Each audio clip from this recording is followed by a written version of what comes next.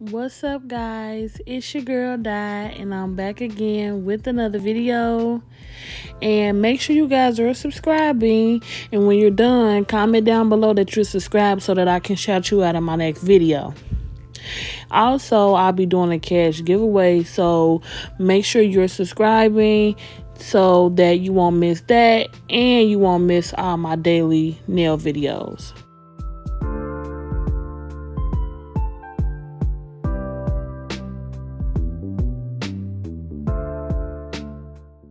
So today is another watch me work video. There's nothing in particular in this video that's, you know, pretty detailed or whatever.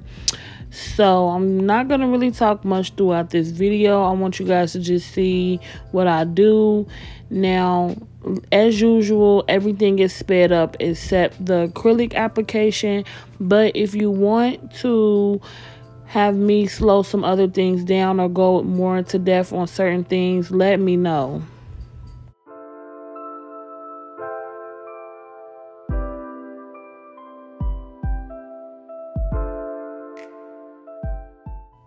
So right now, all I'm doing is shaping the nails into a coffin shape and I'm just holding my file like in a 45 degree angle, which you guys really can't tell because of how I got it angled, but I am holding my file in a 45 degree angle to get that coffin shape.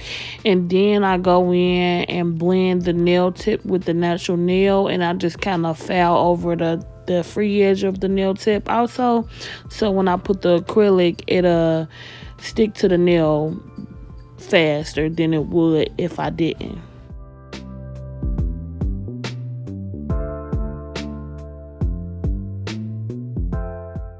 As always, once you're done doing all your filing and stuff, make sure you dust off the nail and go in with a no lint wipe and use your swipe. If you don't have swipe, go ahead and go over to Young Nails website and purchase that. It's a lifesaver.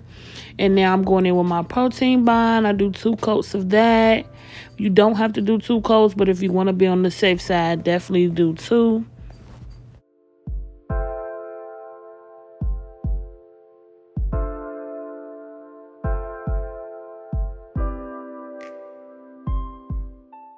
Now, before I go in and do the ombre, I'm going to just do the two glitter nails and the encapsulated um, flake nails. So I just go in with a little bit of clear on the actual nail bed to ensure that I won't get any lifting. And then I go in with my um, glitter acrylic that I bought from Nail Heaven Supply. And I just, you know, kind of keep putting beads until I get the look that I'm going for. I didn't really want it to be see-through at all. So I just kind of kept adding until I, you know, was satisfied with the look. Then before I let the nail completely dry, I go in with my flakes and just put them where I wanted to put them. And then I move on to my next nail and just let that set before I cap it with clear acrylic.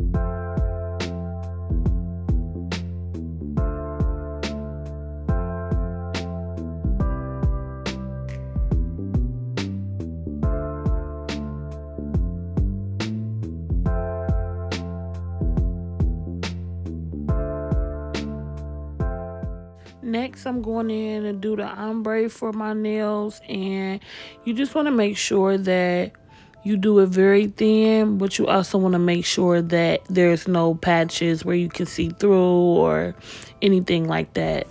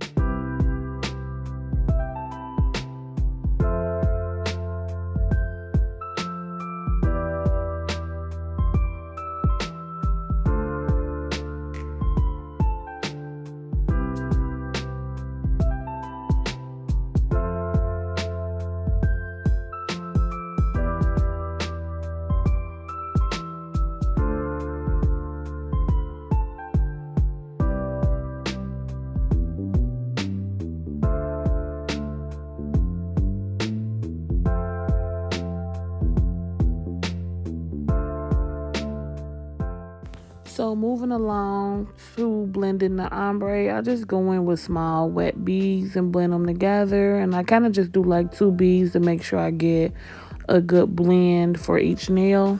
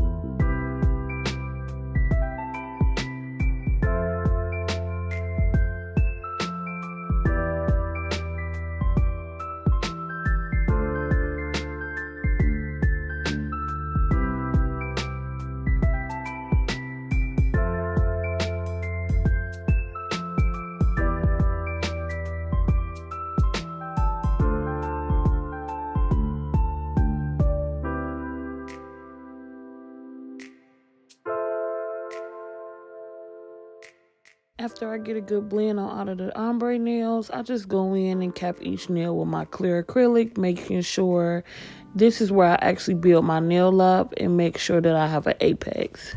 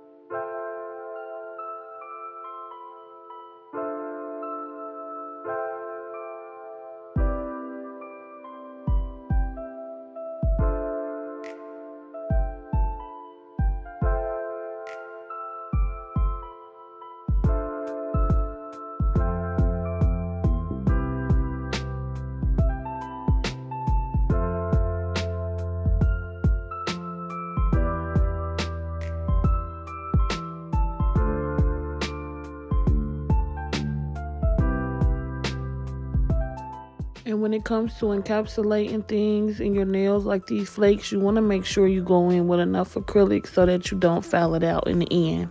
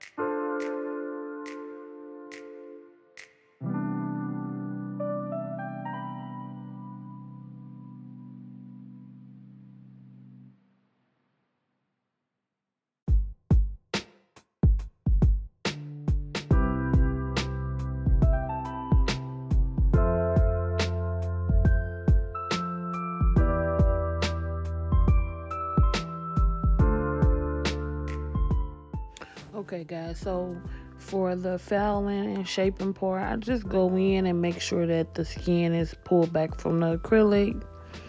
And then I go in and foul each of the nails and I just make sure I'm getting the nails pretty smooth. And I also, you know, you'll see me rub the nail and make sure it's smooth.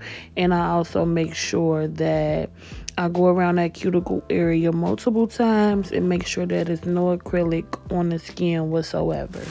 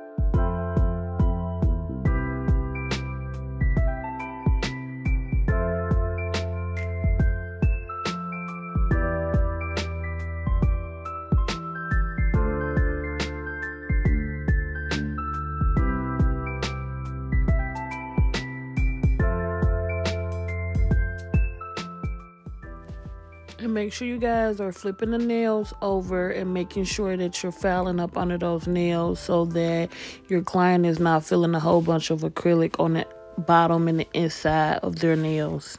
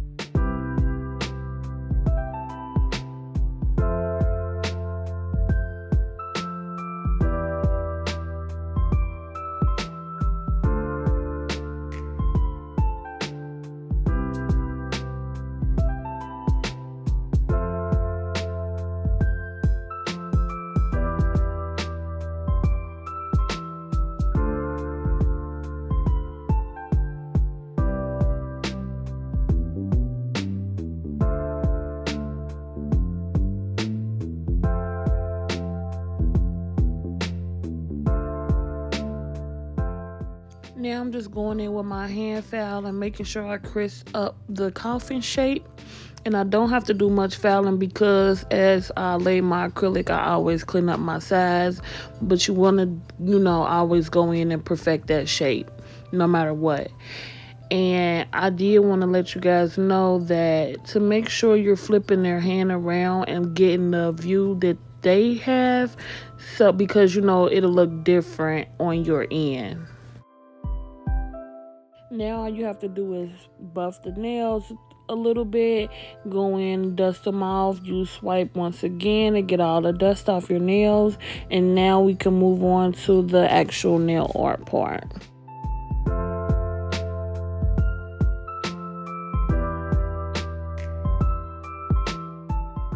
And for the nail art, I'm not doing anything special. I'm just going in and you know, creating that smile line look with the nail art brush. And then I just go in with the actual brush and fill in the rest, making sure I clean up my, my sides and get all the polish off of the nail. Because if you cure gel polish on the skin, it's not going to come off until they wash their hands.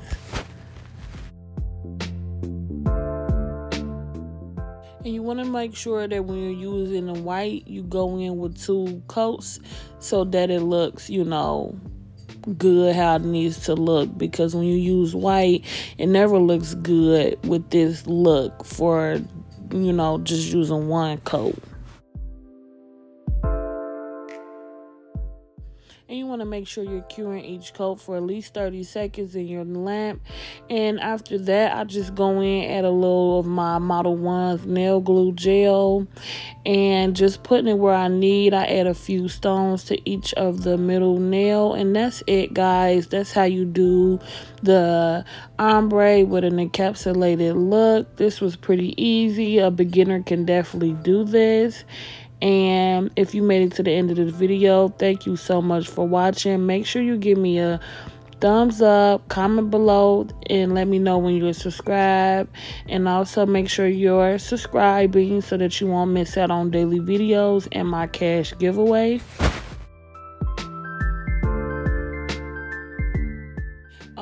Make sure you let me get know down in the comments if you want me to do a more in-depth on ombre nails or a more in-depth on encapsulated nails. And i'll catch you guys in my next one. Thank you so much for watching. Bye